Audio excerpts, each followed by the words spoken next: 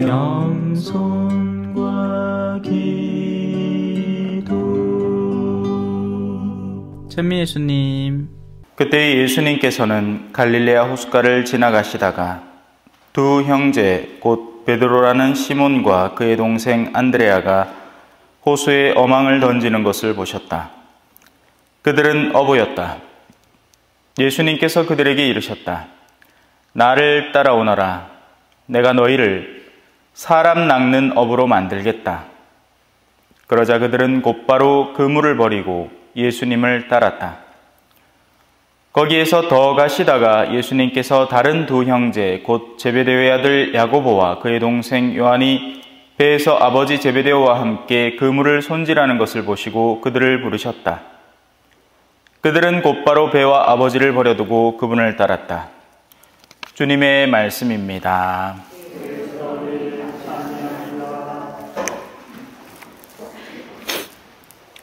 찬미 예수님, 자녀분들 걱정 많이 하시죠? 근데 사람은 전부 다 제 먹거리는 찾고 살아갑니다. 세상에 태어난 존재 중에서 자신의 안위를 걱정하지 않는 존재는 없으니까요. 그래서 자식들이 어떻게 살아갈까를 걱정하는 것은 사실상 어찌 보면 헛된 걱정입니다. 다 자기 좋은 바를 추구해서 살아가니까요. 하지만 거기서 멈추면 안 되겠죠. 모든 인간은 기본적으로 자신의 위치에서 좋음을 찾습니다. 헌데 볼 수 없는 좋음은 어떨까요? 한 번도 본 적이 없는데 그것을 원할 수 있을까요? 그럴 수 없겠죠. 그래서 신자건 신자 아니건 돈이 좋다는 건 압니다. 그래서 기본적으로 다 돈을 뒤쫓습니다. 돈벌이를 하고 먹고 살 방법을 찾죠. 헌데 보이지 않는 영역에 있는 좋음은 어떻게 알고 그것을 누리고 찾게 될 것인가?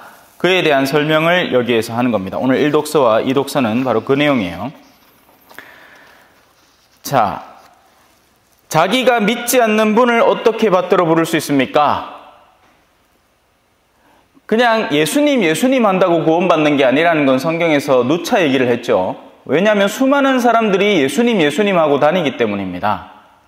하지만 정말 내가 그분께 의탁하는 부르짖음은 영혼에서 나오는 겁니다. 그 영혼에서 나오는 그 의탁의 부르짖음은 그분에 대한 진정한 신뢰가 기반할 때 나올 수 있는 겁니다. 그게 아니면 절대로 나오지 않아요. 입으로야 할 수 있죠.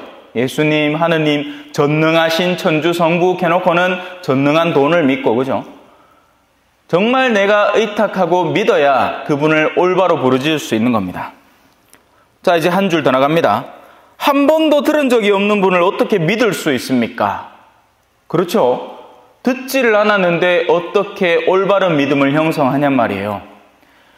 수많은 사람들이 사제에 대한 이상적인 모습을 떠올리려고 애를 씁니다. 그런데 사람들이 형성해내는 사제상은 마치 민간요법 같은 거예요.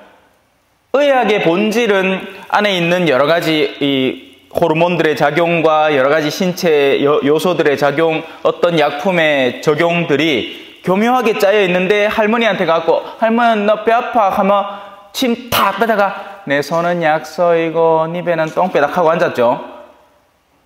물론 정신적인 치료 효과는 있을지 몰라도 그게 실제 지금 배 안에서 일어나고 있는 행여라 장염이나 아니면 맹장염이 걸렸는데 극하고 앉았으면 그게 낫습니까? 안 낫죠?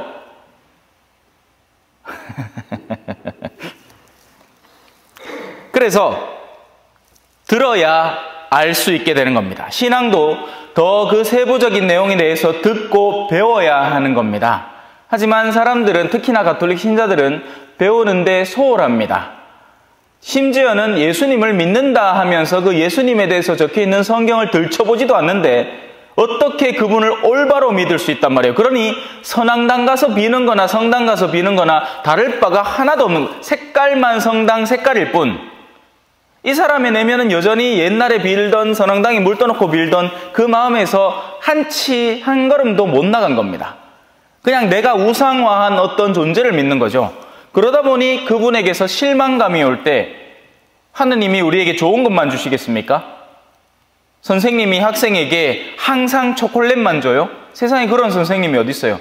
당근도 주고 채찍도 주는 거죠. 어떤 때는 훈육도 필요하니까. 하느님은 그렇게 우리의 생을 다져 나가시는데 우리는 좋은 것만 찾고 좋은 것만 바라고 항상 투덜대기만 하다 보면 하느님이 본질적으로 가르쳐 주려는 삶의 고난을 통하여 얻어지는 지혜들은 놓쳐버리는 겁니다. 선포하는 사람이 없으면 어떻게 들을 수 있겠습니까? 하느님의 말씀을 듣기는 들어야 하는데 그 들음을 통해서 믿음이 이루어지는데 누군가가 그 선포의 역할을 차지하지 않으면 우리에게는 또 들리지가 않는 겁니다. 누가 해야 될까요? 신부님이 해야죠. 예, 하고 있습니다. 하지만 여기서 멈출까요? 제가 선포하는 걸로 끝납니까? 선포라는 것은 하느님이 어디까지 가닿기를 바라시는 거예요? 신앙이 없는 이들에게 신앙이 선포되기를 바라십니다. 그럼 그 역할은 누가 해야 할까요? 세속 안에 머물고 있는 여러분들, 평신도의 역할이 바로 거기에 있는 겁니다. 그냥 너희들끼리 성당 나와서 옹기종기 모지가 어? 미사나 찍찍찍 드리고 집에 가고 그냥 캥캥캥 자고 어? 너끼리 모지가 화투치고 그래 놀아라 하는 게 아니고 신앙이 없는 이들에게 다가서서 한 번이라도 더 신앙에 대한 초대를 하고 다시 한번 생각해 보렴. 이대로 삶을 마감하다가 영원한 생명을 놓칠 수는 없지 않느냐. 너 전에는 신자였잖아. 하지만 그런 노력이 전혀 보이지 않죠. 네.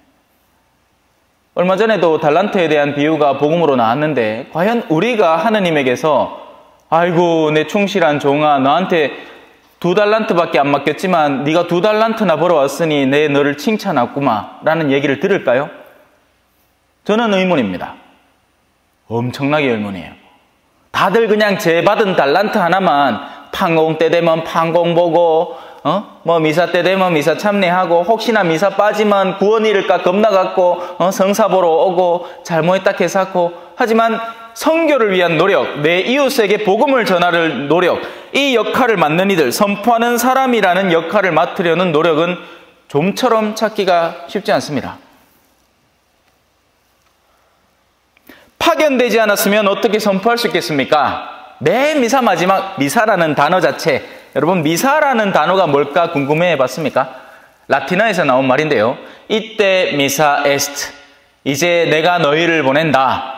파견받았다 라는 뜻입니다. 미사 자체가 파견이에요. 미사는 우리끼리 모여서 영적인 양식 먹고 아 예수님 오늘도 내한테 밥 줘 고맙습니다 하는 게 아니고 명령을 받는 거예요. 거룩한 명령을 가서 복음을 전하, 전해라.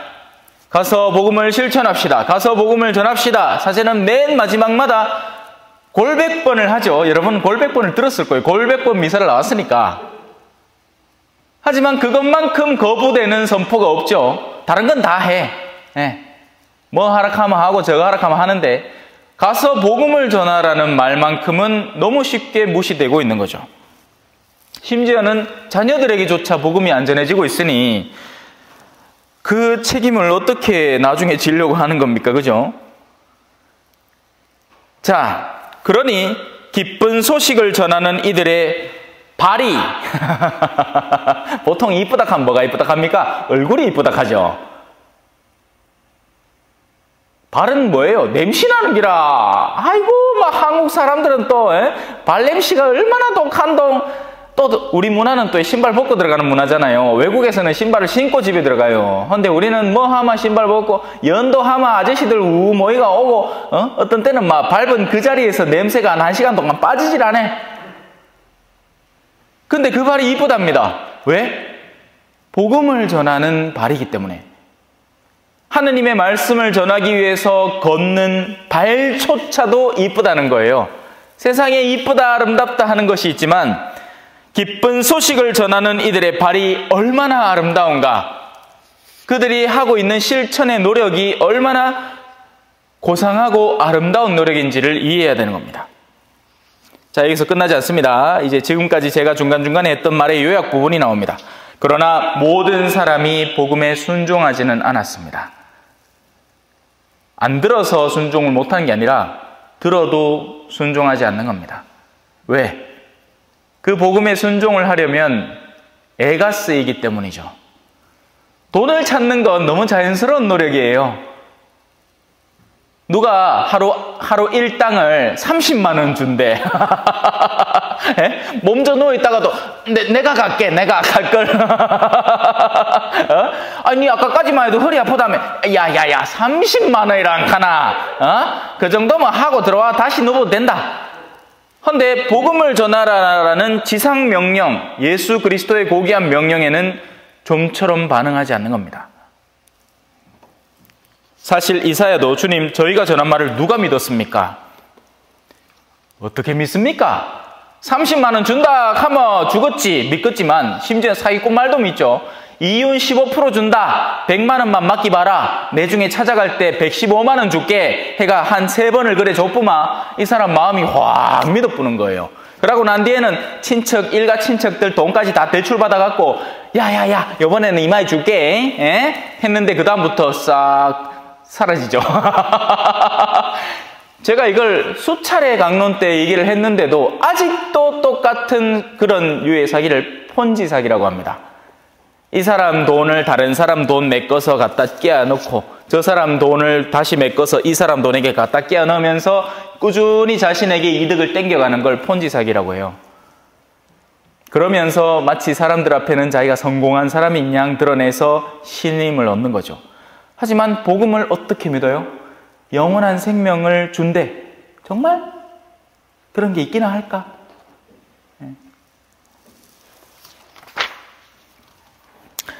믿음은 그러므로 믿음은 들음에서 오고 들음은 그리스도의 말씀으로 이루어집니다. 그들이 들은 적이 없다는 말입니까? 오늘 여러분이 못 들었다는 말입니까? 아니죠. 누차 들었죠. 제가 한두 번 얘기한 게 아니니까. 자, 이제 복음만 살펴보겠습니다. 나를 따라오너라. 내가 너희를 사람 낚는 업으로 만들겠다. 그 말은 곧 이들은 이전에는 어부라는 활동을 이미 하고 있었던 겁니다. 그들은 어부라는 생활에 필요를 느꼈고 배를 채워야 했고 일이 필요했고 그래서 어부라는 활동을 하고 있었어요. 초전 같으면 여러분들은 이미 참외 농사꾼들인 겁니다. 뭐 참외를 굳이 재배하지는 않더라도 농사를 어떻게 하는지에 대해서는 베테랑들이죠. 저 어디 가가 씨앗을 구해 와서 예? 땅 하나 구해가 일구고 심고 막 가끔씩 아침에 산책할 때 보면 그 내가의 그 쪼매난 한 한 세 평쯤 될까 두 평쯤 될까 하는 그 땅에 어르신들이 나와갖고 어? 새벽부터 막 갈고 앉았다. 그러다 뭐 순카가 어? 또 뭐 하나 얻어볼까 싶어가 대단해. 우리 어르신들은 그런 노력은 전혀 멈추질 않는 겁니다. 집안에다가 뭘 하고 뭘 키워갖고 자기가 다 먹지도 못할 거예요, 심지어. 그걸 어떻게든 키워내가 뭔가 하려는 의지를 조금만 신앙 영역으로 바꾸면 어마어마한 영혼들을 추수해낼 수 있을 것인데 그것만큼은 하기 싫은 거죠. 아이 신부님이요 벌써 몇 년째 냉담하고 있는데 인자가 하고 간다고 뭐 바뀝니까? 안 바뀔지는 몰라도 여러분의 노력은 하느님께 계산될 수 있는 겁니다. 안 바뀌죠. 알아요. 제가 해봐도 안 바뀌는데. 뭐, 우리 본당 시절 벌써 2년째 제가 하고 있지, 않습니까? 뭐, 그렇다고 뭐, 확 바뀝니까? 아이고, 신부님 말이 맞습니다. 이제부터 우리가 힘을 합치갖고, 막, 신부님이 뜻하는 이 성교의 노력을 한번 만방히 펼쳐보겠습니다. 합니까? 안 해!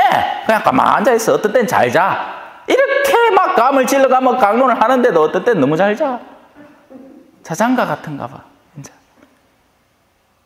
그래서, 그들은 이미 어부였습니다. 어부의 활동은 그들이 이미 알고 잘하고 하고 싶었던 거죠. 단지 예수님은 똑같은 활동에 사람만 낚아라라는 명령을 내리시는 겁니다. 자, 명령이 오면 그 다음에 뭐가 필요하냐? 순종이 필요합니다. 그 명에 따르는 순명이 필요하죠. 이 부분이 힘든 거예요. 내가 하고 싶은 건 얼마든지 해. 헌데 왜 그런 때 있잖아요. 그죠? 내가 그냥 요리를 하고 싶으면 막 탕수육도 만들어내고 돈가스도 만들어내고 하는데 갑자기 남편이 여보 오늘 달래는 된장찌개 하나만 끓여주면 안 되나? 가마 갑자기 기분이 팍 상해. 왜? 이건 내가 하고 싶지 않았던 기라. 딴 건 다 해. 또 그럴 때 있잖아요. 그죠? 나는 내 애를 이뻐하니까, 아, 만 집에 오마, 마, 어, 막 시장 나가가, 어, 그 힘들다는 시장에 나가가, 마, 재료, 마, 이마에 사가 양손 무겁게 해가, 막, 암, 씨암탉을 막 삶아가 준다. 근데 남편이, 여보, 내 계란 후라이 하나만 해주면 당신이 해보라! 그것도 뭐하라! 괜찮지요? 왜? 그거는 하기 싫거든. 똑같은 기라. 예. 하느님의 명은 구원을 향한 우리의 초대를 담고 있습니다. 우리가 하고 싶고 하기 싫고의 문제가 아니에요. 해야만 하는 일이 되는 겁니다. 하지만 과연 우리가 그렇게 하고 있을지 나를 오늘 복음 하나송이에요. 나를 따라오너라. 내가 너희를 사람 낚는 업으로 만들리라. 아멘. 찬미 예수님, 겸손과 기도.